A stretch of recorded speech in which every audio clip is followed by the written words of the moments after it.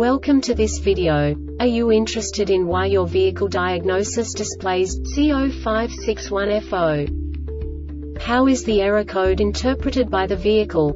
What does C0561FO mean, or how to correct this fault? Today we will find answers to these questions together. Let's do this. First, let's look at the history of diagnostic fault code composition according to the OBD2 protocol, which is unified for all automakers since 2000. We divide the electric system of automobile into the four basic units. Powertrain, body, chassis, network. This distribution is defined in the first character code.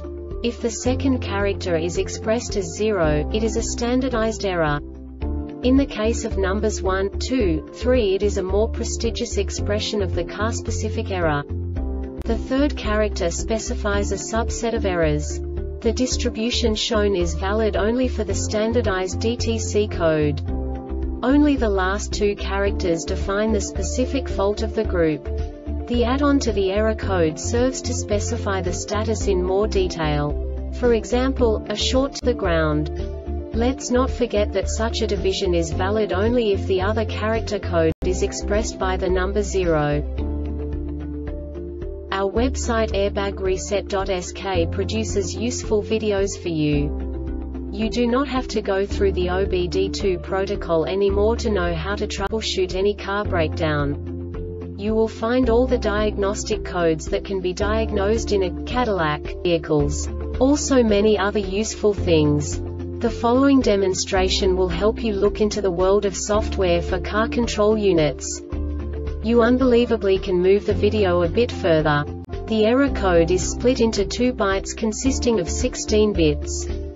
One bit is the basic unit that each computer works with. The bit has two logical states.